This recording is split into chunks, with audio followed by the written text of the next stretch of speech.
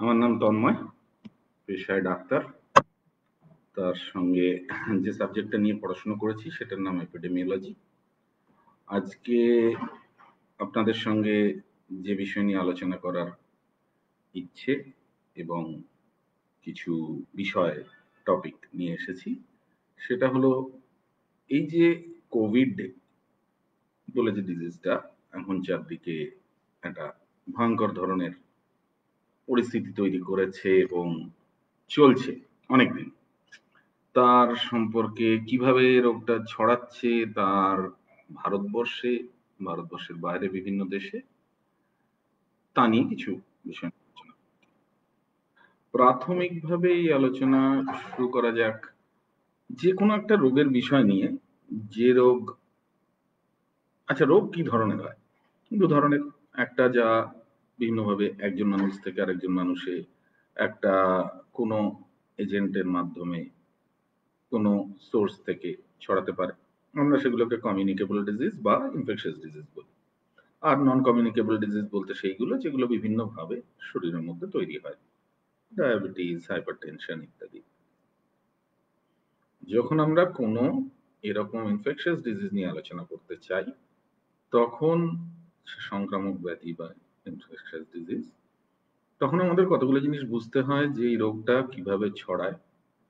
এই রোগটা কত তাড়াতাড়ি একজন মানুষ থেকে আরেকজন মানুষে যেতে পারে। এবং এই ছড়ানোর বিষয়টা কি কি বিষয়ের সাথে জড়িত থাকে এবং কীভাবে তাকে কন্ট্রোল করা যেতে পারে। এর জন্য কতগুলো টার্মিনোলজি খুব ইম্পর্টেন্ট থাকে। ইনফেক্টিভিটি প্যাথোজেনেসিটি আর তারপর রোগটা কতটা খারাপ কাজ করে সেটার উপর ভিরুলেন্স ইনফেক্টিভিটি হচ্ছে যখন কোনো এক্সপোজার মানে যদি কোভিড এর কথা বলি, এই যে নোভেল করোনা ভাইরাস যেটা সিভিয়ার অ্যাকিউট রেসপিরেটরি ডিজিজ করে বলে সিভিয়ার অ্যাকিউট রেসপিরেটরি সিনড্রোম করে বলে সার্স করোনা ভাইরাস বলা হচ্ছে, এই সার্স করোনা ভাইরাসের মাধ্যমে যে করোনা ভাইরাস ডিজিজ বা কোভিড টু থাউজেন্ড নাইনটিনে শুরু হয়েছে ডিসেম্বর থেকে বিভিন্নভাবে বিভিন্ন জায়গায় গোটা দেশে, গোটা পৃথিবীতে আস্তে আস্তে ছড়িয়ে পড়েছে এবং আমাদের দেশে তিরিশে জানুয়ারি প্রথম কেস আসার পরে, প্রথম ডায়াগনোসিস হওয়ার পরে আস্তে আস্তে এখন ছড়াতে ছড়াতে এমন একটা জায়গায় আমরা গেছি যাতে আমাদের প্রায় আটত্রিশ লাখের উপরে কেস গোটা ভারতবর্ষে কনফার্ম কেস হিসেবে জানা গেছে। আর গোটা পৃথিবীতে অনেক বেশি প্রায় আড়াই কোটির উপরে এরকম কেস হয়েছে। এরকম একটা রোগ যখন কোথাও দেখা যায় শুরুতে, তখন যেহেতু রোগটা কীভাবে ছড়াচ্ছে, কি থেকে কীভাবে এগোচ্ছে জানা যায় না, তখন যে কোনো হেলথ সিস্টেম তার ডায়াগনস্টিক প্রসেস মানে কীভাবে আমরা রোগটাকে ধরবো তা নিয়ে অনেক গবেষণা চলতে থাকে। এবার এইরকম যেতে যেতে হয় কি, প্রাথমিক দিকে যে কোনো দেশের যে হেলথ সিস্টেম তার মধ্যে আমরা একটা আনস্টেবল সিচুয়েশন একটা জিটারিনেস লক্ষ্য করি। মানে সেই সময়টাতে কোনোদিন দেখা যাচ্ছে কেসের পরিমাণ বাড়ছে, কোনোদিন দেখা যাচ্ছে ঠিক মতো সেরকম কেস নেই। মানে যেরকম আশা করা যাচ্ছিল তার প্যাটার্ন দেখে, এই ফেজটা প্রত্যেকটা দেশে একটা সময় থাকে। যখন একটা রোগ কোনো একটা জায়গা থেকে হচ্ছে বলে জানা যায়, আমরা আজকে নতুন কোনো রোগ নিয়ে আলোচনা করছি। যখন কোনো একটা জায়গায় প্রথম এরকম একটা কিছু জানা গেল, তখন সেটা যে একটা বিপদ বা সেটা যে এমন একটা হেলথ হ্যাজার্ড যে সেটা গোটা পৃথিবীতে ছড়িয়ে পড়তে পারে, এই জিনিসটা জানতে জানতে কিছুটা সময় চলে যায়, যেরকম কোভিড নাইন্টিনের ক্ষেত্রে হয়েছে চীনের ওয়ান প্রভিন্সের পর থেকে। এবার যখন এটা এরকম ভাবে জানা যাচ্ছে এবং জানার পরে বিভিন্নভাবে যে হেলথ সিস্টেম তারা চেষ্টা করছে যে সেটাকে কি করে অ্যাড্রেস করা যায়, তখন আস্তে আস্তে এটা সম্পর্কে মানুষের ধারণা জমা হতে থাকে আর তার সঙ্গে কিছু ভুল ধারণাও তৈরি হতে থাকে। এইগুলোর সঙ্গে লড়াই করার একটা সিস্টেম তৈরি হয়। যখন এটা একটি দেশের মধ্যে সীমাবদ্ধ থাকে, তখন পরিস্থিতি একরকম। যখন বিভিন্ন দেশে ছড়িয়ে পড়ে এবং হতে হতে প্রায় অধিকাংশ এই যেমন এই বর্তমান কোভিড নাইন্টিন প্রায় দুশো ষোলোটা দেশে ছড়িয়ে গেছে এবং সেটা অনেকগুলো মাস হলো। শুরু থেকে ধরলে আট, ন মাস হয়ে গেছে। আমাদের দেশে ধরলে আট মাস পেরিয়ে গেছে প্রথম কেস আসার পরে। এরকম একটা পরিস্থিতিতে এটা জানা খুব জরুরি হয়ে পড়ে যে এই রোগটা কীভাবে ছড়ায় এবং এই জানার পদ্ধতিটাকে ট্রান্সমিশন ডায়নামিক্স বলা হয়। কীভাবে আমরা এটার সম্পর্কে ট্রান্সমিশন কীভাবে হচ্ছে তার ডায়নামিক্স সম্পর্কে ধারণা করতে পারি। এই ট্রান্সমিশন ডায়নামিক্স অনেকগুলো বিষয়ের উপর নির্ভর করে এবং অনেকগুলো বিষয় থেকে এগুলো জানতে হয়। যেমন, মানুষের থেকে মানুষে ছড়াতে এটা পারে কিনা? এটা মানুষের থেকে মানুষে ছড়ালে কীভাবে ছড়াচ্ছে? যেমন, কোভিড সম্পর্কে এখনও পর্যন্ত যে ধারণা নিয়ে চলছে তা হচ্ছে, এটা মানুষের থেকে মানুষের মধ্যে ছড়াচ্ছে ফোমাইটস এর মাধ্যমে। এ নিয়ে এর মধ্যে অনেক ধরনের কনফিউশন আছে এবং একটা কথা মাথায় রাখতে হবে, একটা নতুন রোগ সেটা সম্পর্কে খুব ডিটেলসে যতই আমরা মঙ্গলে জমি কেনার চেষ্টা করি না কেন, ব্যাপার হলো যে এটা সম্পর্কে ডিটেলস পরিষ্কার করে জানতে আর অনেকটা সময় লাগবে। আমরা খুব বেশি কিছু জানি না এটা সম্পর্কে। অনেক কিছু স্পেকুলেশনস এবং তার সঙ্গে কিছু অ্যানেকডোটাল এবং কিছু সায়েন্টিফিক এভিডেন্সকে একসাথে মিলিয়ে আমরা বিভিন্ন ধরনের কাজ গোটা পৃথিবীতে করার চেষ্টা করছি। প্রাথমিকভাবে শুরু করা যাক এই রোগের সূত্রপাতের সময় থেকে। এটা কীভাবে চারপাশে ছড়িয়েছে এবং কি এর সম্পর্কে জানা গেছে? করোনা ভাইরাস এটা কি একেবারেই নতুন? এটা সম্পর্কে কি আমরা কিছুই জানতাম না? তা নয়। করোনা ভাইরাস এমন একটা ভাইরাস যেটা সম্পর্কে আমাদের অনেক ধরনের ধারণাই ছিল। এমনকি একটা পুরোনো পেপারে এরকমও আছে যে করোনা ভাইরাস বিভিন্ন ধরনের পরিবেশের আমি চারপাশের বিভিন্ন জন্তু জানোয়ারের মধ্যে বা বিভিন্ন ব্যাট বা এই জাতীয় প্রজাতির মধ্যে যেভাবে আছে এবং বিভিন্ন খাদ্যাভ্যাসের মাধ্যমে যেটা ছড়িয়ে পড়তে পারে, এটা একটা ভবিষ্যতে বিপদ হতে পারে। এটা অনেকদিন আগেই একটা চাইনিজ পেপারে একজন চাইনিজ অথরের একটা পেপারে এ সম্পর্কে একটা সন্দেহ প্রকাশ করা হয়েছিল। এবার করোনা ভাইরাসের থেকে যে বিভিন্ন ধরনের পরিবর্তন ঘটে, একটা নতুন ধরনের করোনা ভাইরাস আসতে পারে, এই বিপদের ব্যাপারে সন্দিহান আমরা সবাই ছিলাম। কিন্তু এটা কত বড় বিপদ হতে পারে সে সম্পর্কে ধারণা ছিল না। এটা মানুষ এবং জীবজন্তুর মধ্যে সমস্যা তৈরি করতে পারে, এটা জানা ছিল। মানুষের মধ্যে অনেক ধরনের করোনা ভাইরাসের কথা জানা গেছে, যারা শ্বাস প্রশ্বাসের মানে নিঃশ্বাসের আমাদের যে রেসপিরেটরি সিস্টেম তাতে ইনফেকশন করতে পারে। এটা জানা ছিল। এটাতে সাধারণ ফ্লু লাইক ইলনেস যেমন হচ্ছে হাঁচি কাশি, সর্দি, এরম টাইপের জিনিসের থেকে শুরু করে ভীষণ সিরিয়াস ডিজিজ যেমন Middle East respiratory syndrome and severe acute respiratory syndrome এরকম করতে পারে, এটা জানা ছিল। এবার এই কোভিড নাইন্টিন হচ্ছে এমন একটা সমস্যা যেটা গত সব, গত সালটার শেষ দিকে হঠাৎ করে চীনের ইউহান প্রভিন্সে দেখা যায়, ধীরে ধীরে জানা যায় যে এটা এমন একটা জিনিস যেটাতে বিভিন্ন ধরনের সিমটম হতে পারে এবং সেই সিমটমের মধ্যে যেগুলো রেগুলারলি থাকার বিষয় জানা গেছে যেমন আমাদের স্মেলিং সেন্সেশন চলে যাওয়া বা ফিভার কাফ সেগুলো যে সবার থাকবে তা নয়। আমি কিছুক্ষণের মধ্যে ওই বিষয়টা আসব ইনফেক্টিভিটি প্যাথোজেনিসিটিটা বুঝতে হবে সেটার জন্য। এই সিমটমগুলো থেকে তার সিভিয়ারিটি হতে হতে ground glass appearance in the lung and pneumonia pneumonia like situation এ পর্যন্ত এর বিস্তার হতে পারে। কীভাবে রোগটা হচ্ছে নিয়ে অনেক থিওরি প্রথম থেকে বিভিন্নভাবে চলছিল। মোটামুটি যেটা জানা গেছে, আন্দাজ করা গেছে যে এর মাধ্যমে ইমিউন সিস্টেমে একটা সাইটোকাইন স্টর্ম নামের একটা পরিস্থিতি তৈরি হয়, যেটার ফলে কিছু মাইক্রো এম্বোলিজম হতে হতে একটা আলটিমেটলি এন্ড আপ হয় একটা বিরাট হাইপক্সিয়াতে মানে অক্সিজেনেশন কমে যায় because of respiratory infection and respiratory পাথওয়েতে embolism এরকম একটা থিওরি এখনও পর্যন্ত মেনে চলা হচ্ছে।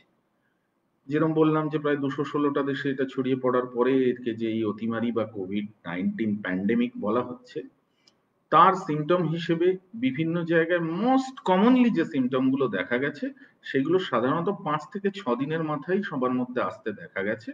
ফিভার ড্রাই কাফ বা একটা টায়ার্ডনেস লেথার্জি ইত্যাদি। কিন্তু চোদ্দ দিন পর্যন্ত আসতে দেখা গেছে, তার চেয়ে পরেও বেশিও দেখা গেছে, যদিও তারা রেয়ার সমস্যা হচ্ছে, এটা এমন একটা রোগ, এই যে ভাইরাসটা এটা খুব বুদ্ধিমান ভাইরাস সে কি করে?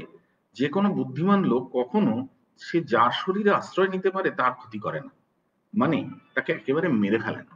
এবার কেউ কেউ একটু বোকামো করে ফেলে আর কারোর কারোর শরীরে আগে থেকে সমস্যা থাকে যাতে সে বাঁচতে পারে না।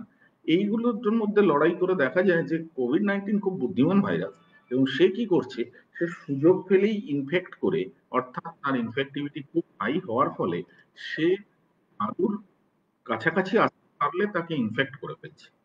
তাই এর ইনফেক্টিভিটি আসলে খুব হাই যদি এমন কোনো ড্রপলেট পার্টিকেল এমন কারোর থেকে আসে আমার কাছে যে কোভিড ইনফেক্টেড তাহলে আমার এতে ইনফেক্টেড হওয়ার চান্স খুব বেশি।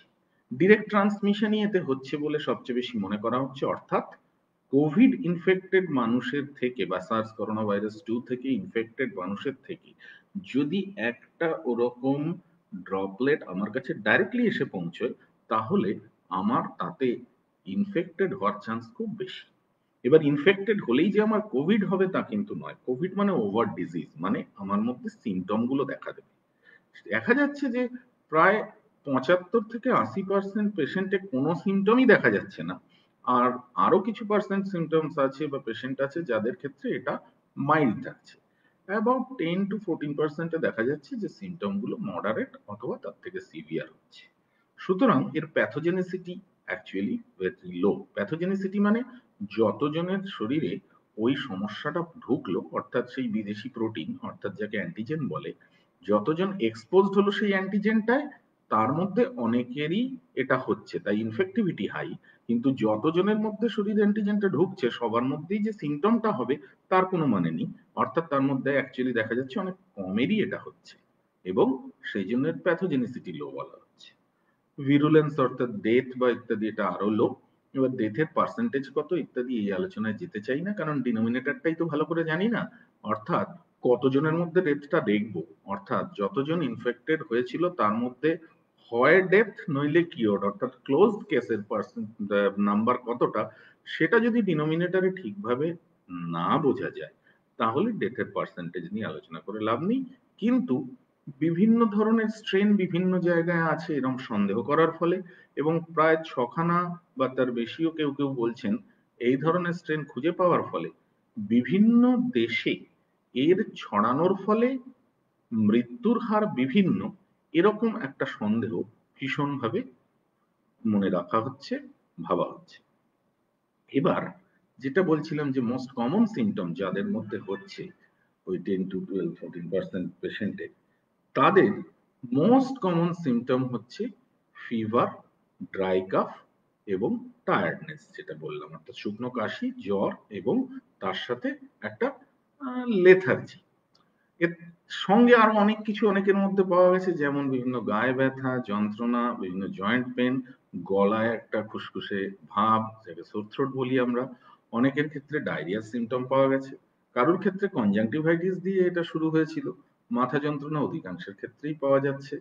টেস্ট অ্যান্ড স্মেল সেন্সেশন অর্থাৎ স্বাদ অথবা গন্ধের সেন্সেশনটা সেটাও অনেকের ক্ষেত্রে কম পাওয়া যাচ্ছে। স্কিনে একটা অদ্ভুত ধরনের র্যাশ অনেকের ক্ষেত্রে দেখা গেছে।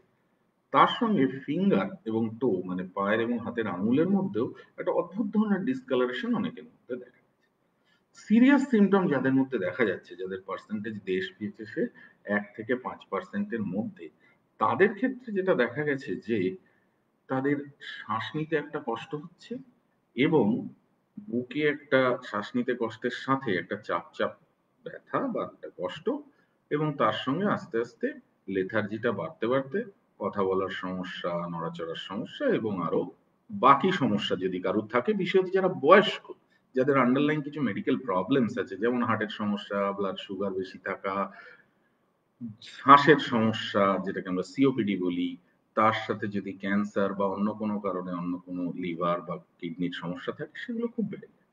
এবার আসি আজকের আসল বক্তব্যে, যেটা হচ্ছে স্প্রেড পার্সন টু পার্সন মানুষের থেকে মানুষের ছোট্ট ড্রপলেট মানে ড্রপের চেয়েও ছোট যা, এরম ধরনের ফ্লুইড এবং তাতে কন্টেনিং সামান্য কিছু পার্টিকেল ভাসমান পার্টিকেল যেগুলো ওই ফ্লুইডে ভাসমান, বাতাসে ভাসমান বলছি না, এই পার্টিকেল যদি ডাইরেক্টলি স্মল ড্রপলেটস যদি ডাইরেক্টলি একজন পার্সনের থেকে আরেকজন পার্সনের পৌঁছয় এবং সাধারণত নোজ অথবা মাউথ থেকে পৌঁছানোর কথা ভয় পাওয়া হচ্ছে, তাহলে কোভিড নাইন্টিন ছড়ায় এবং হাঁচি, কাশি, কথা বলার সময় ইত্যাদিতে, এটা দৃশ্যমান নয়, এইটা ছড়ায় বলে জানা গেছে। এটার প্রিভেনশনের জন্য যা বলা হচ্ছে আমরা সবাই জানি, আমার আজকের বক্তব্য এটা নিয়ে নয়, তবুও নিজের হাত ভালো করে ধোয়া, সাবান দিয়ে এবং জল দিয়ে যখন ঘরে আছি আর যখন বাইরে আছি তখন যতটা সম্ভব স্যানিটাইজার ইউজ করা অ্যালকোহল বেসড হ্যান্ড রাব যেগুলো হয়, যেগুলো প্রপার স্যানিটাইজার তার সাথে এই একটা নির্দিষ্ট দূরত্ব, সেই দূরত্বটা কত তা নিয়েও অনেক কনফিউশন আছে, আলোচনা চলছে বিভিন্ন ধরনের এবং আমি দু এক মিনিটের মধ্যে ওই আলোচনায় দূরত্বর বিষয়টা আসব। একটা এক থেকে তিন মিটার, শুরুতে এক মিটার বলা হচ্ছিল, কারণ ডাইরেক্ট ট্রান্সমিশনের ক্ষেত্রে এক মিটারটা একটা সেফ ডিস্টেন্স বলে বলা হয়, কিন্তু আসলে সেরকম কোনো সেফ ডিস্টেন্স নেই। তার কারণ হচ্ছে, যখন কোনো একটা এমন কিছুর মাধ্যমে একটা ফ্লো অফ পার্টিকলস হতে পারে যেটা খুব দ্রুত এক জায়গা থেকে আরেক জায়গায় যেতে পারে।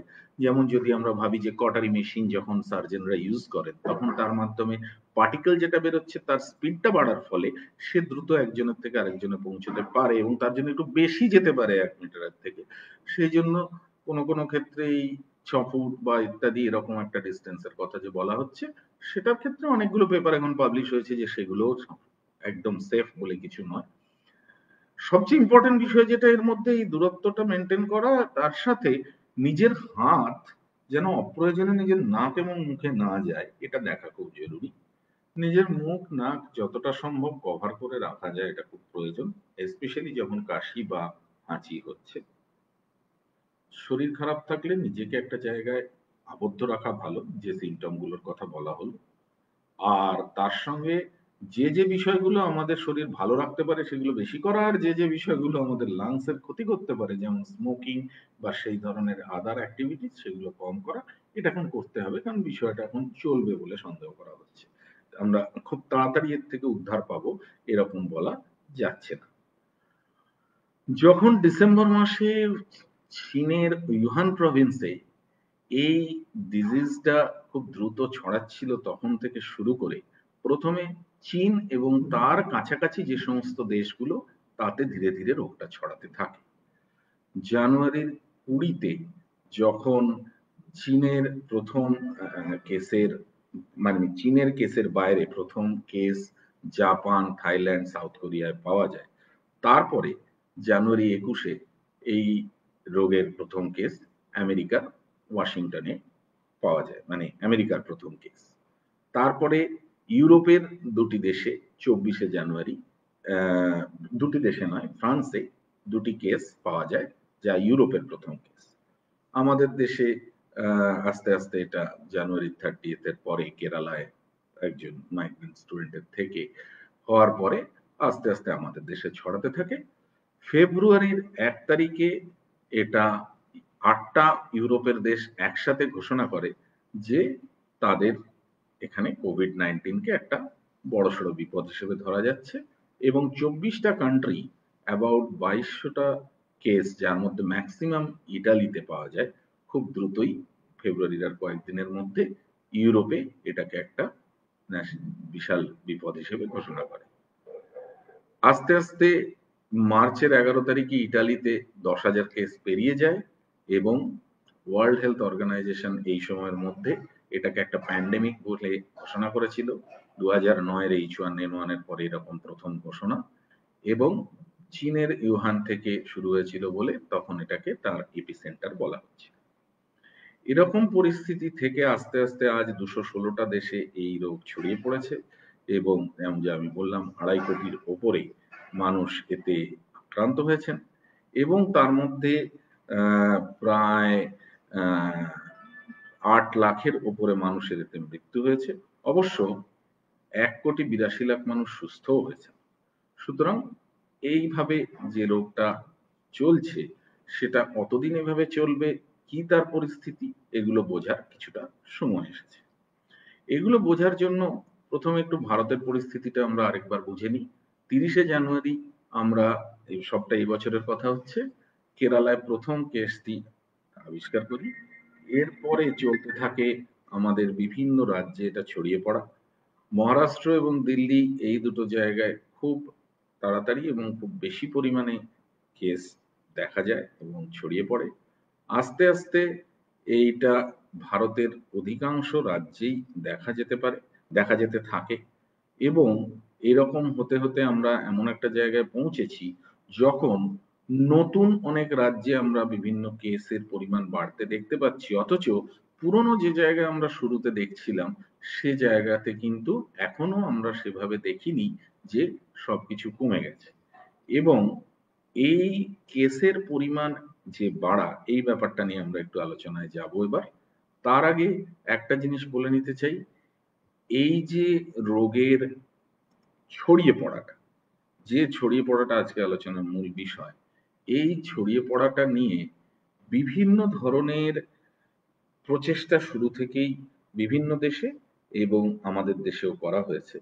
যেমন লকডাউন এমন একটা বিষয় যাতে মানুষকে আরেকজন মানুষের মধ্যে থাকে দূরে রাখা, যতটা সম্ভব করা যায়, অপ্রয়োজনে যাতে কোনো রকম ছড়িয়ে পড়ার সম্ভাবনা না থাকে। এই লকডাউনের আরও কতগুলো উদ্দেশ্য ছিল? যেমন হচ্ছে হেলথ সিস্টেমের সেই স্ট্রেংথটা জেনারেট করা, যাতে এই বিপদটাকে নিয়ে লড়ার জন্য কিছুটা সময় পাওয়া যায় by breaking the chain through the lockdown process আরেকটা হচ্ছে, এই সময়ের মধ্যে হেলথ সিস্টেমের স্ট্রেংথটা বাড়িয়ে যখন কম কেস ছিল, তার থেকে যখন বেশি কেস আসবে, তার লড়াইয়ের জন্য ইনফ্রাস্ট্রাকচার সাপ্লাই হিউম্যান রিসোর্স সবগুলো থেকে তৈরি থাকা। এই যে ফ্যাক্টরগুলো অর্থাৎ যেগুলো একটা হেলথ সিস্টেমের পক্ষে নিজের পরিবর্তন করা সম্ভব দু নম্বর, এটা সম্পর্কে মানুষের কাছে যে তথ্য পৌঁছচ্ছে এবং মানুষের মনে যে ধারণা তৈরি হচ্ছে, তার সাথে চারপাশের পরিবেশের যে প্রভাব অ্যাকচুয়াল ভাইরাসটার উপর পড়ছে, তার সাথে বিভিন্ন পরিস্থিতির মাধ্যমে যেমন কখনো লকডাউন কখনো আনলকডাউন কখনো নিজের চারপাশে কেস এসে পৌঁছে কন্টেনমেন্ট জোনে পৌঁছানো, এগুলোর মাধ্যমে মানুষের বিহেভিয়ারের যে পরিবর্তন তার সঙ্গে টেস্টিং স্ট্র্যাটেজি শুরুতে আমরা শুধুমাত্র আরটিপিসিআর করছিলাম, তারপরে আস্তে আস্তে আমরা আরটিপিসিআর এর সঙ্গে অ্যান্টিজেন টেস্ট করা শুরু করলাম। মাঝখানে কিছুটা কনফিউশন তৈরি হলো অ্যান্টিবডি টেস্ট নিয়ে মনে করা হলো অ্যাজ ইফ যেন অ্যান্টিবডি টেস্টে আমরা জানতে পারব কার রোগ হয়েছে হয়নি, তা নয়। অ্যান্টিবডি টেস্ট এটা বলতে পারে কি এক্সপোজড হয়েছে হয়নি, কার রোগ হয়েছে হয়নি, তা নয়। অ্যান্টিজেন টেস্টেরও সেন্সিটিভিটি কম হওয়ার ফলে কারোর যদি অ্যান্টিজেন টেস্ট পজিটিভ হয় সে হয়তো কোভিড পজিটিভ হতেই পারে, কিন্তু যার অ্যান্টিজেন টেস্ট নেগেটিভ সে কোভিড পজিটিভ নয়, এ কথা বলা সম্ভব।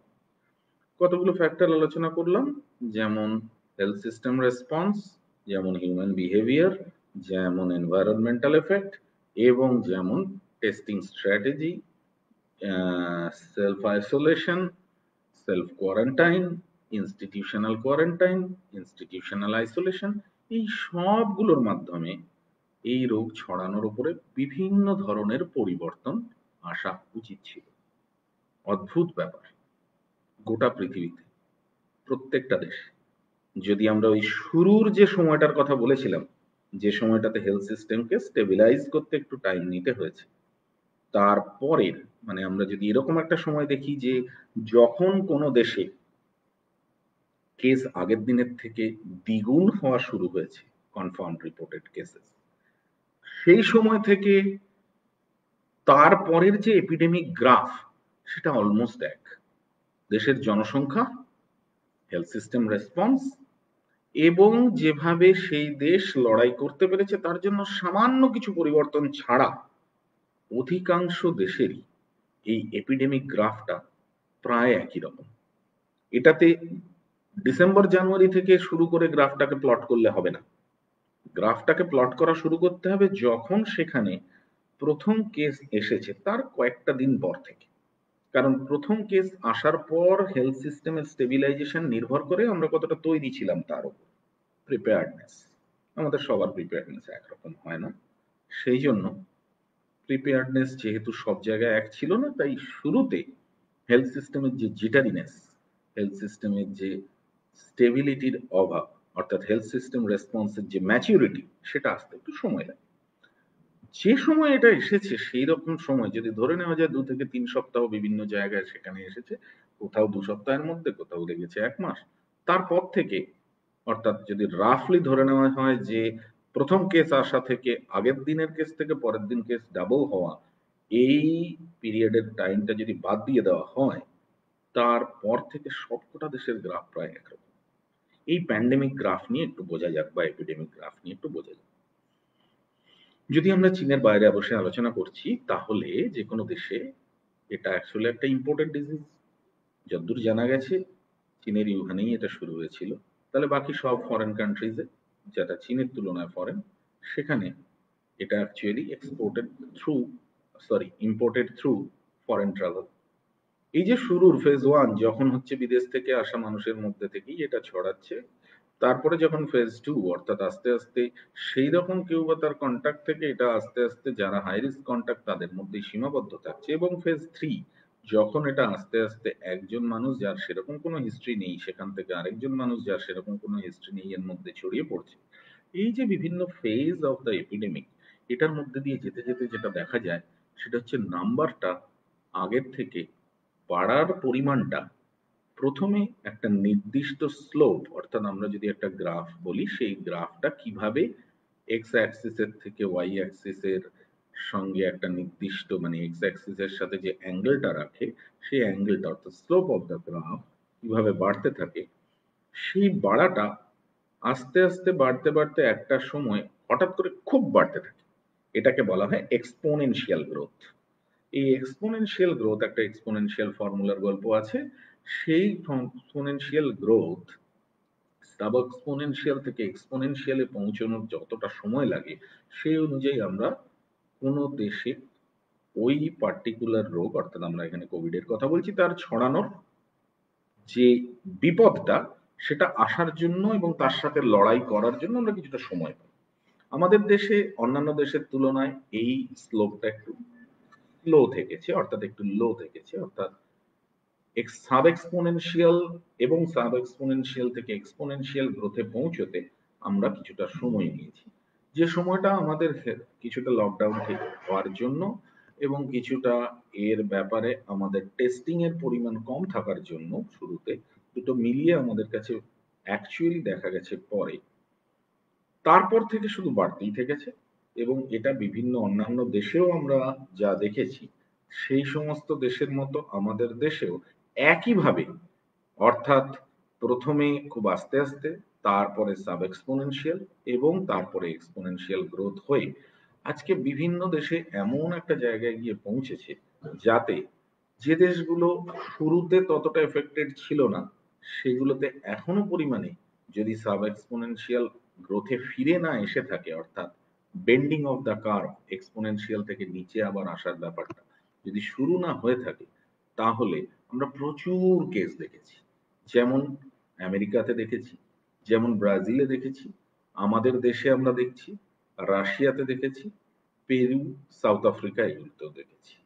এর মধ্যে বিভিন্ন জায়গায় শুরুটা হয়েছিল বিভিন্ন সময়।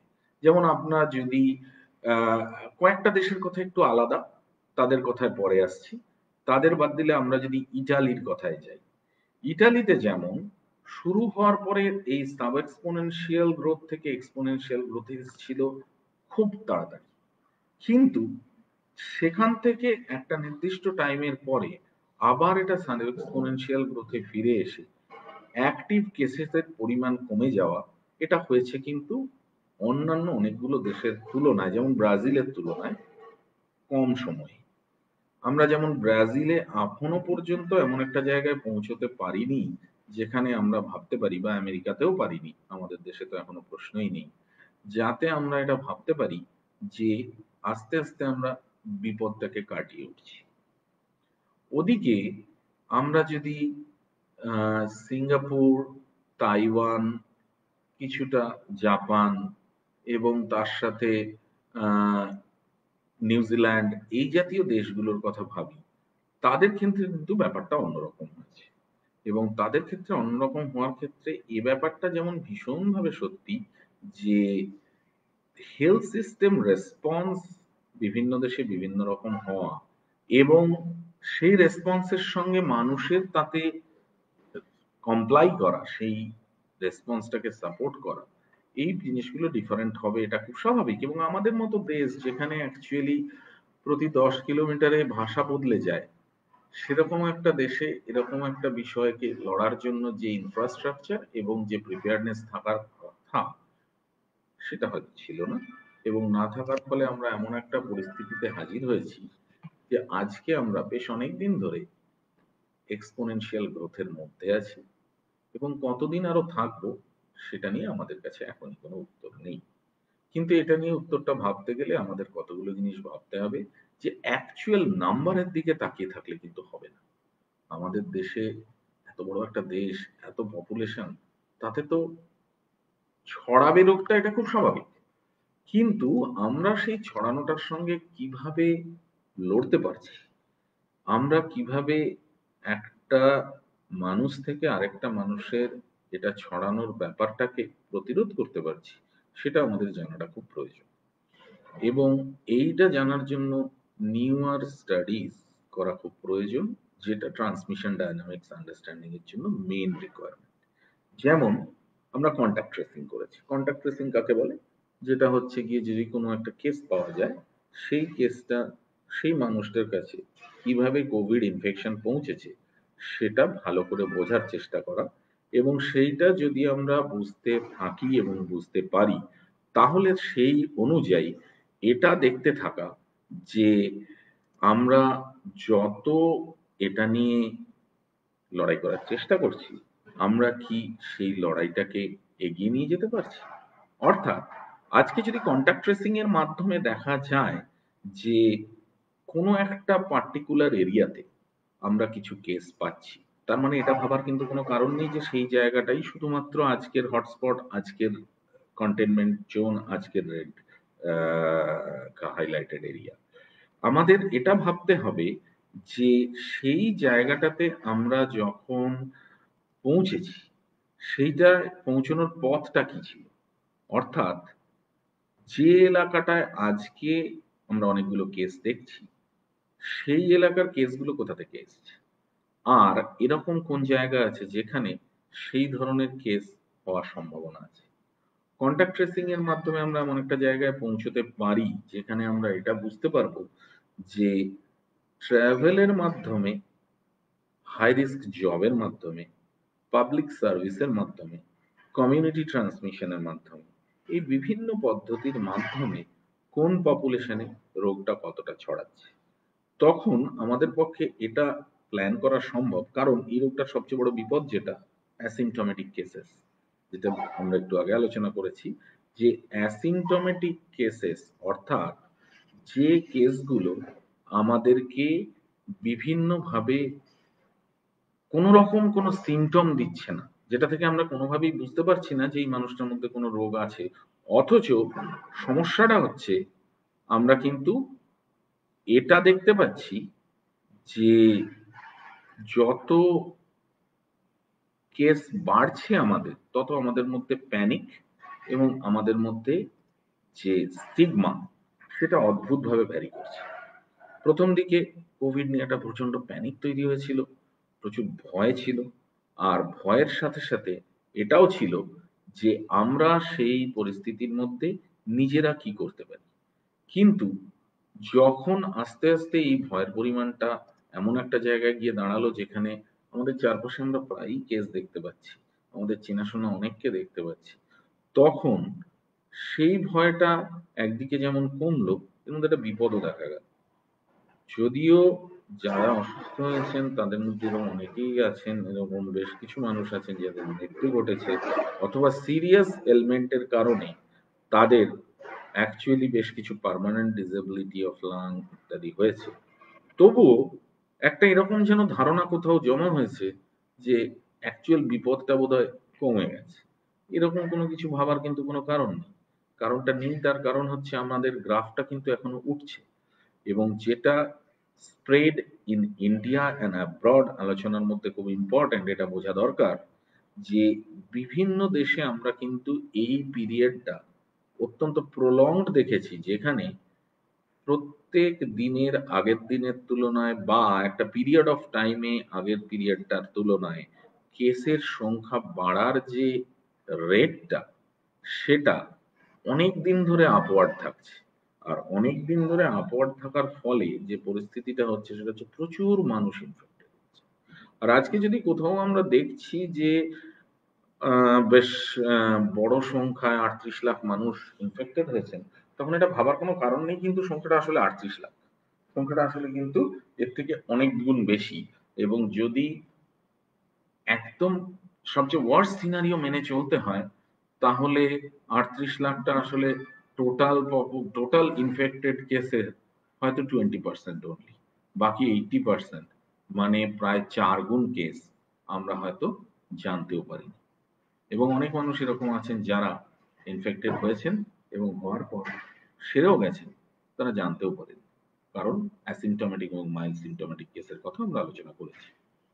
এই বিষয়টা মাথায় রেখে এই যে স্প্রেডের ব্যাপারটা, এটা নিয়ে এটা বুঝতে হবে যে, এখনও পর্যন্ত আমরা এই রোগটাকে ছড়াতে দেখেছি বা এটা সম্পর্কে জেনেছি যে এটা খুব ক্লোজ কন্ট্যাক্টেই ছড়াচ্ছে।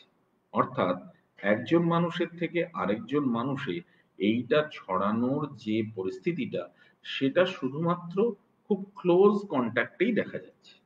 এবার এটা হওয়ার ফলে, এটা জানা খুব দরকার যে ক্লোজ কন্ট্যাক্টে ছড়ায় এরকম একটা ডিজিজকে আটকানো কিন্তু খুব শক্ত নয়। যদি আমরা কতগুলো বিষয় মাথায় রাখতে পারি যে, এই যে হটস্পট বা কন্টেনমেন্ট জোন এবং সেখানকার বিভিন্ন ধরনের প্রসেস বা আজকের দিনে আমরা যেটা করার চেষ্টা করছি হোম আইসোলেশন বা ইত্যাদি। এই ব্যাপারগুলো খুব স্ট্রিক্টলি ইমপ্লিমেন্টেড হওয়া দরকার। কারণ যতক্ষণ পর্যন্ত একজন মানুষের থেকে আরেকজন মানুষের ছড়ানোর জন্য ড্রপলেট ট্রান্সমিশন ডাইরেক্টলি ধরা যাক বাতাসের থেকে হোম এয়ারবোর্ন ট্রান্সমিশনের সন্দেহ প্রকাশ করলেও প্রমাণ এখনও পুরোপুরি পাওয়া যায়নি, ততক্ষণ পর্যন্ত আরেকটা মানুষ কিন্তু এক্সপোজড নন। এবার যদি তিনি অজান্তে এক্সপোজ অন্য কোথাও হয়ে থাকেন, কথা আলাদা। না হলে আমরা যদি এক্সপোজ মানুষদের থেকে আনএক্সপোজ মানুষদের কিছুটা দূরে রাখতে পারি, আর ইনফেক্টেড মানুষদের থেকে বা ডায়াগনোজ মানুষদের থেকে কোনোভাবে আনইনফেক্টেডদের আলাদা রাখতে পারি, তাহলে এটার লড়াইটা কিন্তু খুব একটা সমস্যা নয়। কারণ অজান্তে ট্রান্সমিশন হবে এবং তার মধ্যে থেকেও অনেকগুলো কেস হবে। কিন্তু যেগুলো সিরিয়াস কেস যদি আমাদের হেলথ সিস্টেম আলটিমেটলি সিরিয়াস কেসগুলোকে আইডেন্টিফাই করার আইডেন্টিফাই করার প্রসেসটাকে প্রপারলি কান্ট্রি ওয়াইড ইমপ্লিমেন্ট করতে পারে, তাহলে আমরা সিরিয়াস কেসগুলোকে প্রতি মুহূর্তেই আইডেন্টিফাই করতে পারব। আর তার থেকে কন্ট্যাক্ট ট্রেসিং এর মাধ্যমে আমরা চারপাশে যদি একটা কান্ট্রি ওয়াইড সিস্টেম ডেভেলপ করা যায়, যে এর একটা কন্টিনিউয়াস সার্ভেলেন্স মেকানিজম থাকবে, তখন কিন্তু অ্যাসিমটোমেটিক পোটেনশিয়াল কেসেস এবং তাদের পোটেনশিয়াল এক্সপোজারটা খুঁজে পাওয়া খুব একটা মুশকিল হওয়ার কথা নয়। অন্যান্য যে গ্রুপগুলোর বিষয়ের মধ্যে দেখা হয়েছে সেটা হচ্ছে বিভিন্ন ধরনের মাইগ্রেশন সেটা কখনো কাজের সূত্রে এক জায়গা থেকে অন্য জায়গায় যাওয়া আর কখনো কখনো অন্য জায়গায় যারা কাজ করতেন তাদের সেখান থেকে ফিরে আসা। দু নম্বর, যারা বিভিন্ন ধরনের এমন ধরনের কাজের সঙ্গে জড়িত আছেন জীবন যেমন বিভিন্ন ডাক্তার, বিভিন্ন nurses other paramedic health workers এবং যাদের যারা হেলথ সিস্টেমের সঙ্গে জড়িত কমিউনিটি হেলথ ওয়ার্কার্স তারা তাদের কাজের জন্য বিভিন্নভাবে কোভিড এবং কোভিড ইনফেক্টেড মানুষদের সঙ্গে এক্সপোজড হচ্ছে। আর এই এক্সপোজড হওয়ার ফলে তারা কিন্তু বিভিন্ন সময় এটা দেখতে পাচ্ছেন যে তাদের নিজেদের রিস্কটা অন্যদের থেকে অনেক বেশি। এটা শুধু তাদের মধ্যে একটা প্যানিক বা অ্যাডিশনাল জব স্ট্রেস তৈরি করছে তা নয়। এটা কিন্তু তাদের মধ্যে একটা ভয়ঙ্কর ইনসিকিউরিটিও তৈরি করছে। এবং সেই ইনসিকিউরিটির জন্য যে প্যানিক বা যে বিষয়টা দেখা যাচ্ছে, যে একটা lack of security in terms of being being safe from COVID সেটা কিন্তু একটা অদ্ভুত ধরনের প্রবলেম এটা একটা মেন্টাল স্ট্রেস যেটা কিন্তু তাদের লংজিভিটির ওপর একটা বিরাট এফেক্ট আনতে পারে। আমাদের হেলথ সিস্টেম ভীষণভাবে প্রয়োজন আমাদের হেলথ ওয়ার্কারদের যাদের পুরো গ্রুপটার কথা বললাম, তাদেরকে এই ব্যাপারে প্রোটেক্ট করা। এবং সেই প্রোটেক্ট করার জন্য সবচেয়ে বেশি প্রয়োজন সাধারণ মানুষের এই বিষয়টার দিকে নজর দেওয়া। যে আজকে আমরা ইটালির কথা বলি, আজকে আমরা স্পেনের কথা বলি, আজকে আমরা ব্রাজিল বলি, ইউনাইটেড স্টেটস বলি, সমস্ত জায়গায় কমিউনিটি রেসপন্স কিন্তু হেলথ সিস্টেমের সবচেয়ে বড় অস্ত্র ছিল বিষয়টাকে সামলানোর জন্য আজকে আমরা যদি কোথাও কোভিড কোনো কেস শুনে কীভাবে তাকে একঘরে করা যায়, কি করে তাকে আলাদা করে দেওয়া যায় এই নিয়ে সবচেয়ে বেশি লড়াই করার চেষ্টা করি, তাহলে আমরা আসলে নিজেদেরকেই সবচেয়ে বেশি বিপদে ফেলব। কারণ, কারণ এর পরের মানুষটা তার সিম্পটম এর কথা আর কাউকে জানাবেন না। টেস্ট হলে টেস্ট পজিটিভ তিনি এটাও কাউকে জানাবেন না। আমাদের চারপাশে সিম্পটম পজিটিভ, আমাদের চারপাশে সিম্পটম নেগেটিভ কেস এমনিই আছে আমরা সেটা জানতেই পারছি না। এরপর যদি সিম্পটম পজিটিভ এবং টেস্ট পজিটিভ মানুষরাও নিজেদেরকে পরিচয় দিতে ভয় পান, যেটা পাচ্ছেন ভীষণভাবে, সেটা কিন্তু এই বিপদটাকে আরও অনেকটা বাড়িয়ে দেবে। এবং যে সমস্ত জায়গায় ওয়ার্ল্ড ওয়াইড এটা দেখা গেছে, টেস্টিং স্ট্র্যাটেজি এবং এই সার্ভেলেন্স সিস্টেম যেটাতে কন্ট্যাক্ট ট্রেসিং থেকে শুরু করে এই আইসোলেশন এন্ড কোয়ারেন্টাইন প্রসেসগুলো ঠিকভাবে ইমপ্লিমেন্ট হয়নি। তাদের কিন্তু এই ডিজিজটার সঙ্গে লড়াই করতে অনেক সময় লেগেছে। আর এই সময়টা নিয়ে কি নিয়ে আসছে? আমি শুধুমাত্র মেডিকেল ওয়ার্কারদের হেলথ সিস্টেমের সাথে জড়িত মানুষদের জব স্ট্রেসের কথা বলেছি। স্ট্রেস তো অনেক রকম। আমাদের ডেলি ওয়েজ ওয়ার্কার যারা, যাদেরকে মানুষের সঙ্গে মিশতে হয়, ঘরের বাইরে যেতে হয়, তাদের রেগুলার দিন যাপনের জন্য, নিয়মিত দিন যাপনের জন্য। এই পরিস্থিতিতে এরকম একটা জায়গায় তারা কি করে সার্ভাইভ করছে? আজকে গোটা ভারতবর্ষের যেভাবে এবং গোটা পৃথিবীর যেভাবে অর্থনৈতিক একটা দৈন্য দশার দিকে চলেছে, এই বিপদ থেকে বেরিয়ে আসতে হলে যদিও আমার বক্তব্যটা ইন্ডিয়া অ্যান্ড অ্যাব্রড কিন্তু পুরো মানব জাতির একটা সিঙ্গল রেস হিসেবে এটার সাথে লড়াই করা দরকার। এবং গোটা পৃথিবীর সমস্ত দেশের যে যে জায়গায় আমরা সাকসেস স্টোরি দেখেছি, সেটা তাইওয়ানকে বলি বা সেটা আমরা কিছুটা সিঙ্গাপুরকে বলি বা নিউজিল্যান্ডকে বলি, যে যে দেশে এই জিনিসটাকে ঠিকভাবে কন্ট্রোল করা গেছে, নিউজিল্যান্ড বোধহয় একমাত্র দেশ যেখানে এখনও পর্যন্ত এটাকে পুরোপুরি কন্ট্রোল করা গেছে বলে দাবি করা হচ্ছে বা জানা গেছে। সেই সমস্ত জায়গায় কিন্তু এই ব্যাপারটা অত্যন্ত প্রয়োজনীয় হয়ে পড়েছিল যে আমরা সবাই মিলে এই রোগটাকে সরাসরি এটার সাথে লড়াই করি। এটা থেকে হয়তো ভয় না পেয়ে এটাকে একটা ভয়ঙ্কর বিপদ না ভেবে এটা একটা হেলথ হ্যাজার্ড সেটাকে প্রপারলি ডিল করা উচিত, এটা ভাবা দরকার। আর সবসময় আমরা একটা ধারণা পোষণ করি যে অন্য কেউ আমাদের হয়ে আমাদের দায়িত্বটা পালন করে দেবে, সেটা যেভাবেই হোক না কেন সরকার আইসিএমআর সেন্ট্রাল গভর্নমেন্ট ডব্লিউএইচও আসলে আমাদের নিজেদের সেফটিটা নিজেদের হেলথটা আমাদের নিজেদের দায়িত্ব। Health is a service as well as a right, and that needs to be handled carefully through an user driven healthcare system. এই ইউজার ড্রিভেন হেলথ কেয়ার সিস্টেমের মানেটা হলো আমাদের নিজেদের স্বাস্থ্যের বিষয়টা আমাদের নিজেদের মাথায় রাখা দরকার, এবং সেটা রাখার জন্য গোটা পৃথিবীতে এই রোগের ছড়ানোর যে ধারণ, যে পদ্ধতিটা যে বিষয়টা দেখা গেছে সেটা মাথায় রেখে অপ্রয়োজনে কোনো জায়গায় গিয়ে একটা গ্যাদারিং তৈরি করা।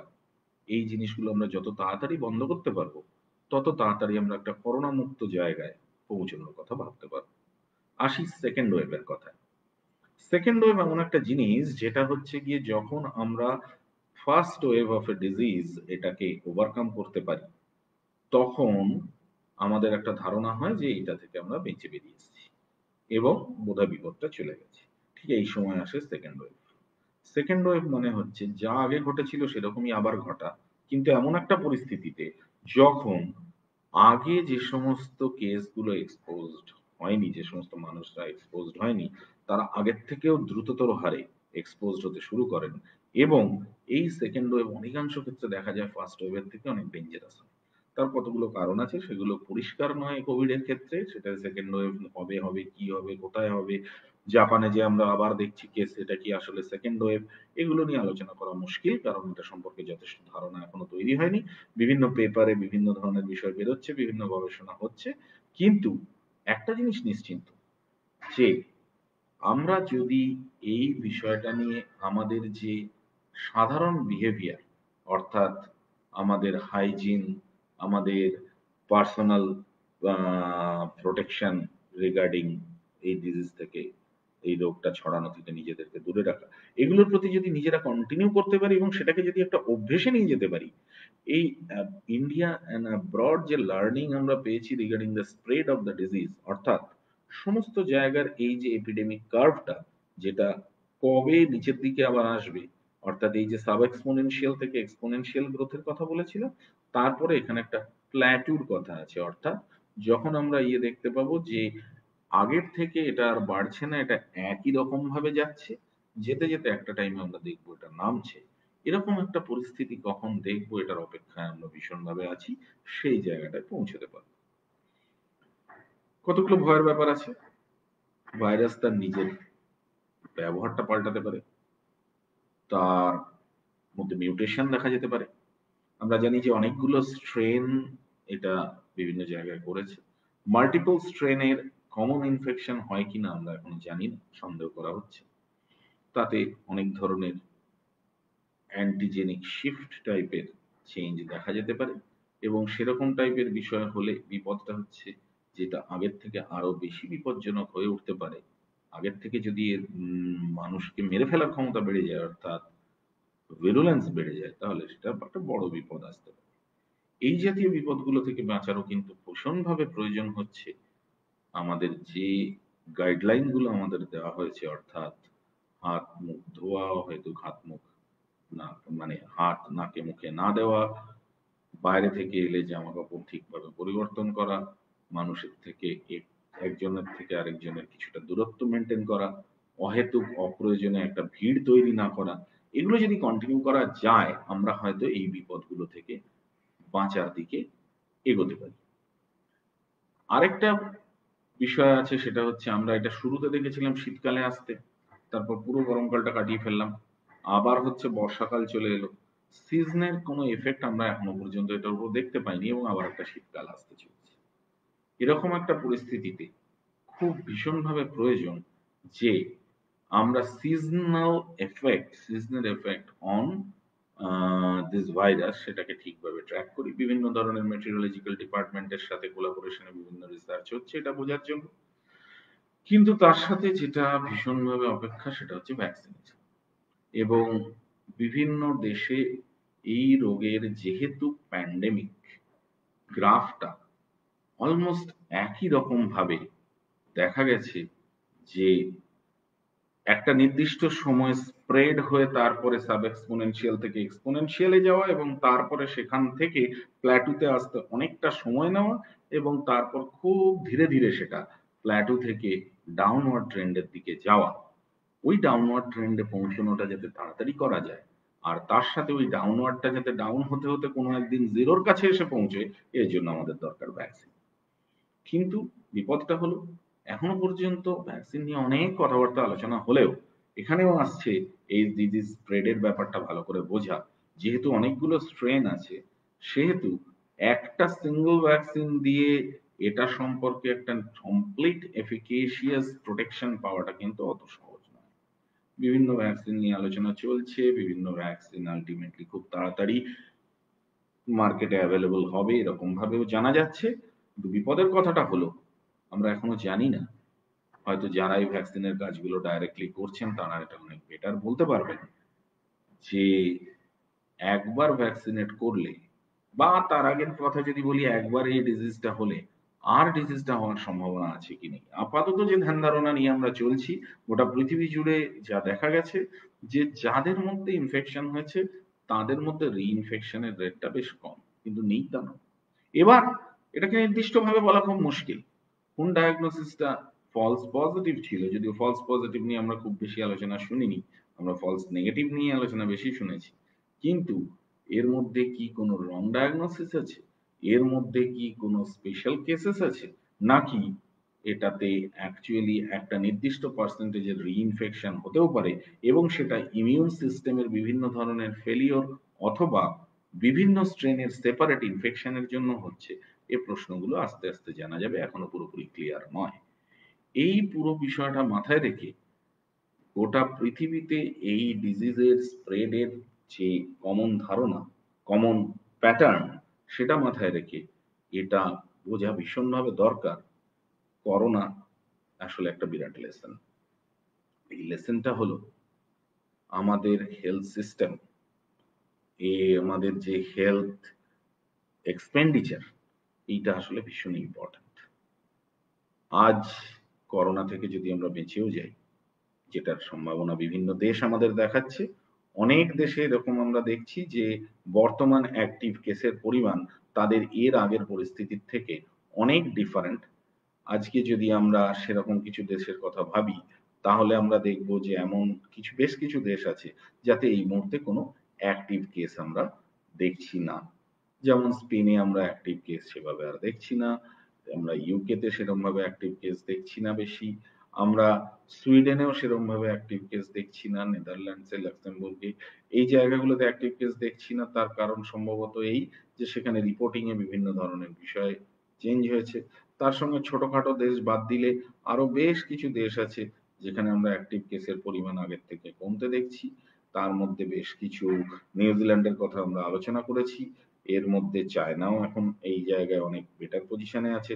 Sri Lanka is a great example তার সাথে আমরা যদি আরও কথা বলি, তাহলে আমরা কিছু ইয়েমেন, এই টাইপের দেশগুলোতেও তা দেখেছি। আবার Vietnam is a great example যেমন আমি আগে তাইওয়ানের কথা বলেছিলাম, ভিয়েতনামের কথাটা বলতে ভুলে গেছিলাম। তার সঙ্গে বেশ কিছু এমন দেশ আছে যেগুলোতে আমরা কোনো সময়ই ততটা বেশি এটা ছড়াতে দেখিনি, সেই জন্য এখনও এর ভবিষ্যতে আমরা অ্যাক্টিভ কেস দেখব কিনা জানি না।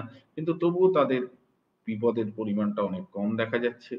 অন্যদিকে আমরা যদি উল্টো দিকটা যাই গ্রাফের, তাহলে আমরা দেখব অ্যাক্টিভ কেসের পরিমাণ ইউএসএ তে এখনও প্রচুর বেশি। অ্যাক্টিভ কেসের পরিমাণ আমাদের দেশে যথেষ্ট পরিমাণে আছে এবং বাড়ছে। ব্রাজিলেরও একই অবস্থা। ফ্রান্স, রাশিয়া, পেরু এই সমস্ত জায়গায় এখনও পর্যন্ত কিন্তু অ্যাক্টিভ কেস যে জায়গায় আছে, বিপদটা কিন্তু আরও লং লাস্টিং হতে চলেছে বলে মনে করা হচ্ছে। স্বাভাবিক জীবনে ফেরা দরকার। অর্থনৈতিক পরিস্থিতিকে লড়াই করতে গেলে কাজকর্ম চালিয়ে যেতে হবে। সেই জন্য এর থেকে যে প্যানিক প্যানিক মানে হচ্ছে একটা ভয়ঙ্কর মেন্টাল স্ট্রেস সেটা কমা দরকার এবং এই পরিস্থিতিটাকে ঠিকভাবে লড়াই করতে গেলে অন্য সমস্ত ধরনের মতামত এবং বিভিন্ন বিভেদ ভুলে একসাথে একটা লড়াই আনা দরকার, যেটা একটা বৈজ্ঞানিক লড়াই। তাতে এই আলোচনাগুলো হওয়া দরকার। যে প্রশ্নগুলোর উত্তর আমরা এখনও জানি না, যেমন আমরা এখনও জানি না যে একবার কারোর ইনফেকশন হলে তার আবার ইনফেকশন হওয়ার চান্স কতটা। যেমন আমরা এটা জানি না যে অ্যাসিমটোমেটিক কেসের মধ্যে থেকে একটা রোগ ছড়ানো আর সিমটোমেটিক কেসের মধ্যে একটা রোগ ছড়ানো, এই দুটোর মধ্যে প্রবাবিলিটি এবং তার ভিরুলেন্সের কতটা ডিফারেন্স আছে? যেমন আমরা জানি না, একটা ভ্যাকসিন নিলে তার আরেকটা রিপিট ডোজ কত আর কতদিন বাদে নিতে হবে এবং ভ্যাকসিনটা কতদিন আলটিমেটলি আমাদের হেল্প করবে এবং সেই ভ্যাকসিন কবে আসতে চলেছে। ততদিন পর্যন্ত আমাদের যারা হাই রিস্ক পপুলেশন সেটা বয়স বেশি হওয়ার জন্য হোক বা কোমরবিডিটিস থাকার জন্য হোক বিশ্বজুড়ে যেটা দেখা গেছে, যাদের আগে থেকে কোনো রোগ আছে, তাদের মধ্যে এই রোগের ক্ষতি করার ক্ষমতাটা অনেক বেশি। এবং যে দেশগুলোতে সেই পপুলেশন বেশি, অর্থাৎ সেই রোগের হওয়ার বয়সে মানুষ বেশি পৌঁছেছেন, সেই সমস্ত দেশে মর্টালিটির পরিমাণও বেশি। এই সব কথা মাথায় রেখে সেই সমস্ত মানুষদের প্রতি একটু বেশি নজর দেওয়া কিছু কথাবার্তার মাধ্যমে স্ট্রেস যতটা দূর করা যায়, সেটাকে দূর করা। কমিউনিটি রেসপন্স একটা তৈরি করা যাতে মানুষ এর সঙ্গে অ্যাসোসিয়েটেড স্টিগমা থেকে দূরে থাকে এবং এই সবগুলো করার সময় নিজের হাত মুখ, হাত, নাক মুখ থেকে দূরে রেখে মাস্ক পরে এই রোগটা সম্পর্কে নিজেদেরকে সাবধান রাখাটা এবং সেই সাবধানতাটা চারপাশে যারা অবলম্বন করছেন না, তাদেরকে দ্রুত সেটা অবলম্বন করতে অনুপ্রাণিত করা। এইরকম একটা আবেদন জানি আমি এখনকার বক্তব্য শেষ করছি। আজকের এখানে আপনারা হয়তো কমেন্টস অনেক কিছু চ্যাটে লিখেছেন। আমি সামহাও অনেকক্ষণ চেষ্টা করেও চ্যাটটা কি করে দেখব সেটা বুঝে উঠতে পারিনি। আমি দুঃখিত, আমি এই ফেসবুক লাইভে খুব কমন নই, খুব অভিজ্ঞ নই এটার ব্যাপারে। আমি চেষ্টা করব আপনারা কম চ্যাটে প্রশ্ন করলে সেই প্রশ্নের উত্তর আমার জ্ঞানসম্মতভাবে যতটুকু দিতে পারি। উদ্যোক্তাদের ধন্যবাদ। যারা শুনলেন তাদের ধন্যবাদ। সবাই মিলে করোনাকে, করোনার সাথে লড়াই করে আমাদের চারপাশটাকে খুব সুন্দর রাখার জন্য ধন্যবাদ। নমস্কার। Good night.